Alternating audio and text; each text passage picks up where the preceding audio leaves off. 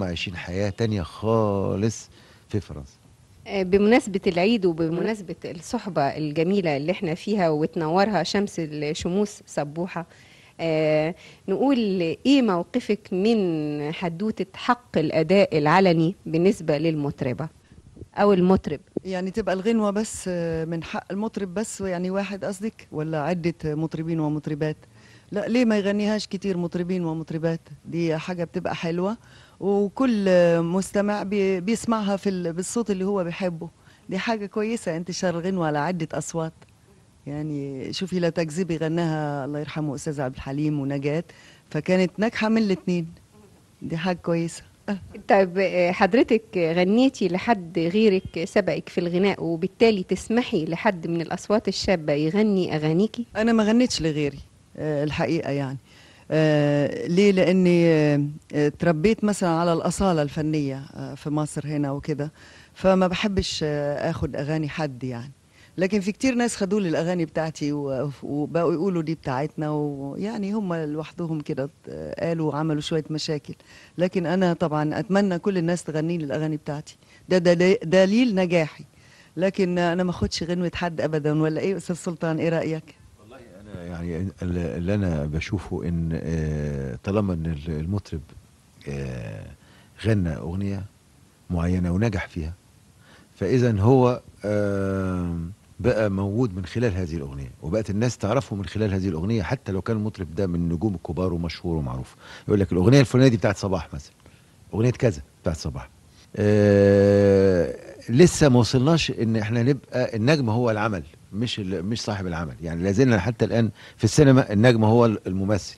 حتى لو كان الفيلم قصة عظيمة جدا لكن دايما يقول لك فريد شوقي مثلا. في في الأغنية دايما يقول لك المطرب آه، قبل الملحن وقبل ال- المؤلف. يعني يقول لك أغنية عبد الحليم حافظ بتاعت كذا. ما يقولوش مثلا أغنية محمد الموجي اللي عاملها أغنية مثلا فايزه أحمد بتاعت كذا مش أغنية محمد سلطان مثلا. مثلا أغنية صباح مش أغنية مش عارف مين.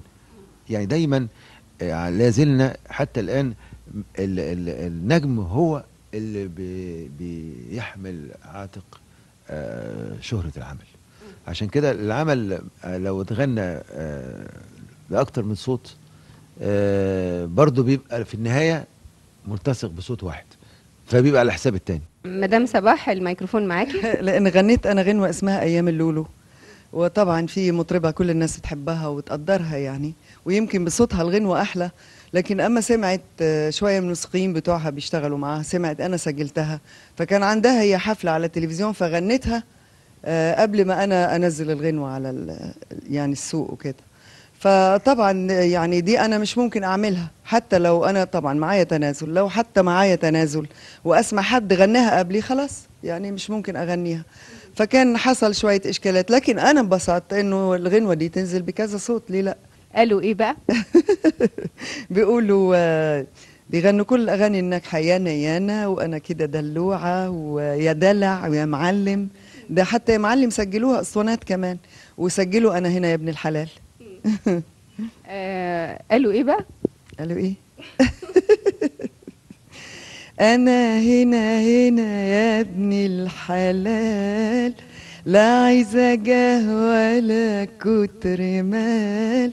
بحلم بعيش أملاه أنا سعد وهنا أنا هنا يا ابن الحلال. أنا أستاذ فريد شوقي. مرة كان في لحن اسمه حسونة ونجح قوي قوي كنت بعمل أنا وهو فيلم فقال لي إيه رأيك آه، هدى سلطان عندها لحن هيفرقع اجيبه لك قلت له يا ريت تعالى اتفقنا أنا وهو. اتفقنا أنا وأستاذ فريد واخدنا اللحن وغنيناه بفيلم لكن هي كان روحها حلوة قوي وكانت مبسوطة جدا يعني. طب نغنيه زي الفيلم؟ حسونة ما تحن عليا حسونة أنا زيك غاوية. وغاوية وغاوية. وحبيبي ما صدقت لقيته والغاوي نقط بطاقيته الغاوي الغاوي.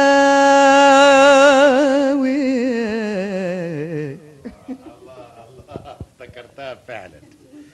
هو ال ال الفيلم ده كان اسمه جوز مراتي. وكان سيدة هدى سلطان طبعا شريكتي وبتعمل معايا معظم الأفلام. لكن جيت في الفيلم ده قلت لها أنا هاخد مدام صباح. طبعا هي عرضت كشريكة في الأول إنما لما شرحت الموضوع وافقت. ليه؟ الفيلم بيبحث قضية المحلل. فمدام صباح طبعا عملت الدور بمنتهى الشياكه والحلاوة وخصوصا إنه البطل اللي هو أنا كان المفروض سباك وهي أرستقراط يعني الست العظيمة اللي بتلبس طبعا وأحلى واحدة كانت ما زالت طبعا بتلبس صباح. فده اللي كان عامل ال contrast أو الفرق إزاي الست العظيمة دي هتحب الولد أو الراجل السباك البسيط الفقير ده. وفعلا حبته وغنت له حسونة يعني. بقول يا أستاذ فريد على ذكر إعادة الألحان بأصوات تانية ومدام صباح قالت ما عندهاش مانع إن تتعاد ألحانها بأصوات تانية رغم إن التليفون بيرن. أنت أدوارك العلامات الفتوة رصيف نمرة خمسة كلمة شرف. العلامات البارزة اللي لو كانت هيأرخوا في لتاريخ السينما في كتاب هيكتبوا عنها. ترضى إنها تتعاد بناس تانيين بفنانين تانيين شروق يكونوا.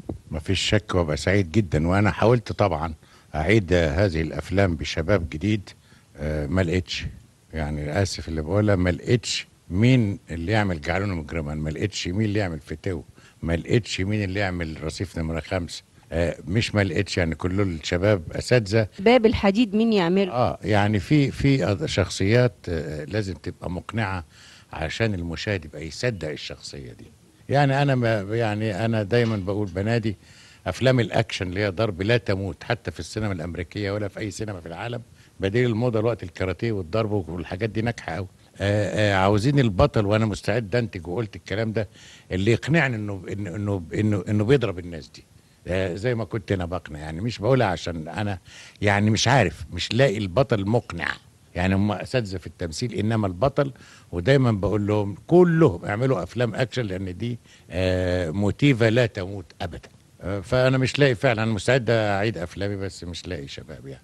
وفي التجربة حصلت مع سيدة فاتن حمامة لما عادوا أفلامها وسقطت ما نجحتش. وبالتالي أنت مع نظرية عدم إعادة الأفلام أو العلامات البارزة على طريق السينما المصرية. أصلا كمان الأفلام رغم إن عمرها 30 سنة ما زالت عايشة. يعني ديك النهار أنا نزل لي فيلم جعله مجرما فواحد صحفي كاتب قال فيلم الموسم وهو عمره 25 سنة. يعني ما علامات مش قادرين فما دام بتعرض ليه أعملها تاني؟ رغم إن دي بتتعمل في أمريكا الأفلام بتعاد باستمرار بشباب جديد ونوعية جديدة. إنما هنا ما يعني ما أعرفش الجمهور أما بيعلق في ذهنه آه، بطل أو مطربة أو مطرب بتفضل مدى الحياة آه، علقة بذهنه. أنا هسال مدام صباح بقى باعتبار إن الأستاذ محمد سلطان قال صوتك فيه كل القدرات أو الأوكتافات أو القدره على أداء آه، لحن وقصيدة. لكن هو آه، بيحس كملحن ومتخصص إن أنت من المفضل إنك تكوني في الحاجات الخفيفة يعني تدخل برضو البهجة زي بهجة العيد للقلوب. تعليقك إيه؟ هو الحقيقة كده أنا ده لوني. يعني. وطبعا بحاول مثلا حاولت أغني ساعات ساعات تغيير بالنسبة لي كانت حلو لا يا قلبي خليك قد التحدي. يعني طبعا أنا عملت تشكيلة كبيرة في حياتي لكن ما غنيتش قصائد. حاولت مرة في مسرحية. أقول قصيدة طبعا كانت القصيدة دي أول ما أبتدي أقولها اولا اللي عايز يشرب سيجارة يطلع بره. فالناس بقت كل ما أقول أنا جه وقت اللي هيقوموا دلوقتي. أبقى واقفة هتقطع. وبعدين دخل الأستاذ سعيد فريح الله يرحمه الكاتب الكبير. حضرني مرة قال لي إيه إيه القصيده إيه الغلطة اللي عملتيها في حياتك دي؟ قلت له خلاص توبة. مش ممكن. يعني هي كده جايز قصيدة وطنية يعني ممكن تمشي كده في مناسبة بتاع حاجات كده.